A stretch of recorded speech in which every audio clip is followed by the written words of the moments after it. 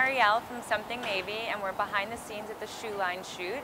Um, for this outfit I decided to pair a feminine skirt with a leopard print top for a more edgy sort of look and we paired it with these combat boots um, and that's the look for this one.